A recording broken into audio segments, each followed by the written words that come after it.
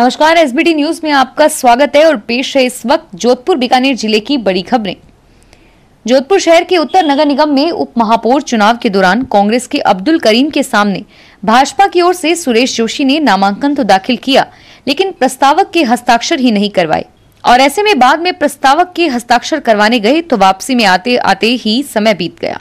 नतीजन उनका पर्चा खारिज कर दिया गया। इस प्रकार कांग्रेस के प्रत्याशी अब्दुल करीम को निर्विरोध उप महापौर निर्वाचित किया गया।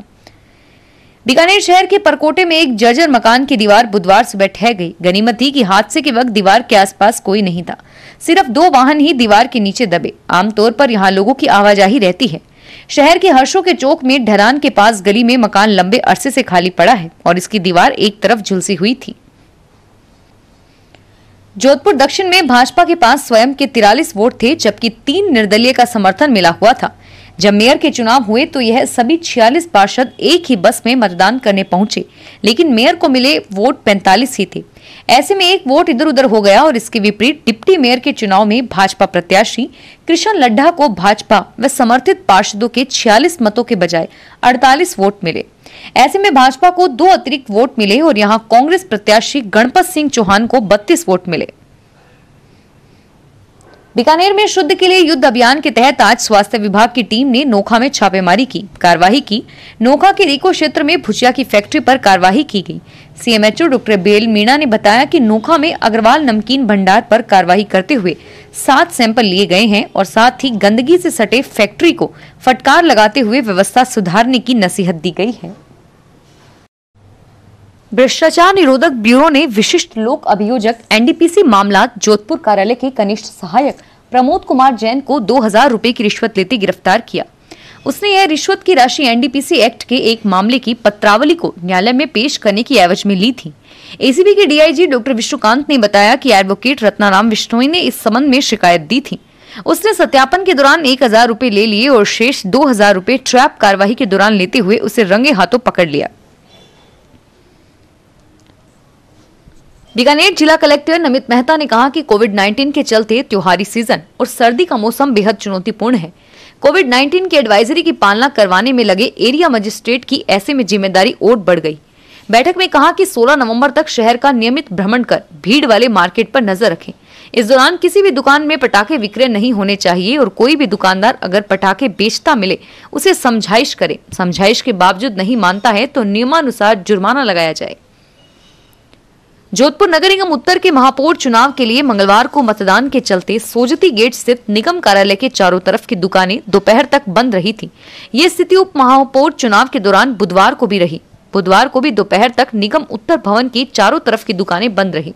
सुरक्षा कारणों को देखते हुए सोजती गेट बाटा तिराहे से पुलिस चौकी तक, यानी निगम भवन के चारों तरफ़ के रास्तों पर लोगों के जुटने पर पाबंदी रही।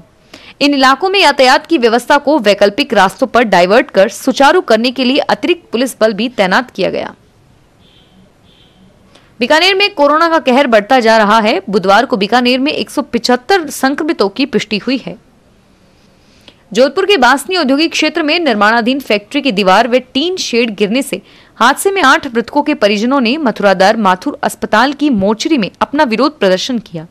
उन्होंने आश्रितों के लिए 25 लाख रुपए का मुआवजा देने के साथ ही सरकारी नौकरी और शहीद का दर्जा दिए जाने की मांग की। यहाँ दिन भर गहमा गहमी का माहौल बना रहा और बाड़मेर से कांग्रेस विधायक मदन लाल प्रजापत भी जोधपुर आए।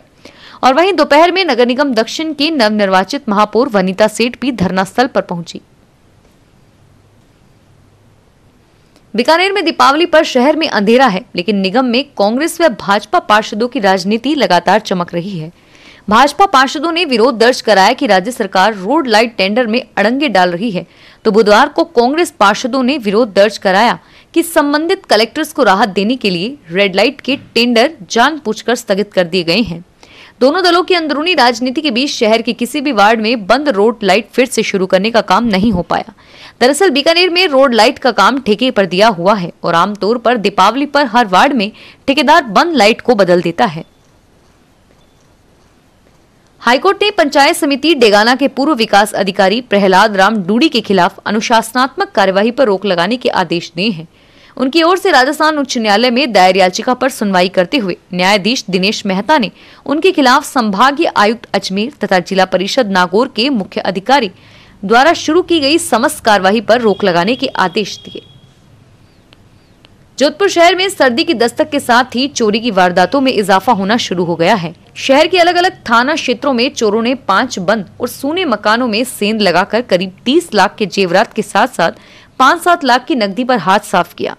पुलिस ने टीमों का गठन कर चोरों की तलाश शुरू की है। राष्ट्रीय शिक्षा दिवस के अवसर पर इग्नू क्षेत्रीय कार्यक्रम द्वारा चलाए जाने वाले करियर विकास कार्यक्रम के पोस्टर का विमोचन संभागीय आयुक्त डॉक्टर समीर शर्मा ने किया।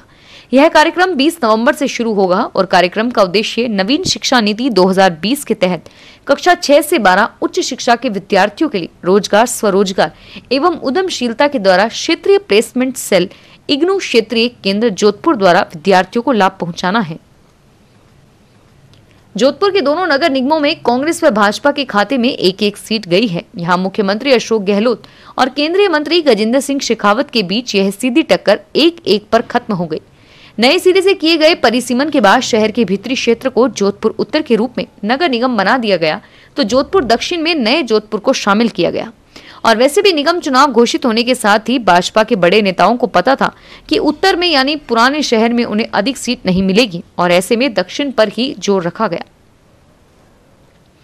मिशन जीवन रक्षा अभियान के तहत महात्मा गांधी हॉस्पिटल में डॉक्टर करण राज वर्मा ने Rotary Club of Jodhpur Blue City के अध्यक्ष सी हर्ष अग्रवाल के प्रोत्साहन से एमजीएच ब्लड बैंक में प्लाज्मा डोनेट किया। ब्लड बैंक इंचार्ज, अधीक्षक एवं प्रभारी doctor Rajshree Behera, lab technician Abhishek Tak व हनवंत चौहान की ओर से प्लाज्मा डोनेशन का प्रोसेस सफलतापूर्वक संचालित किया गया। फ़िलहाल इस बुलेटिन में इतना ही और फिर हाजिर होंगे तमाम बड़ी खबरों के साथ। एसबीटी न्यूज़ के वीडियो देखने के लिए हमारे चैनल को सब्सक्राइब करें और नोटिफिकेशन पाने के लिए बेल आइकन पर क्लिक करें। धन्यवाद।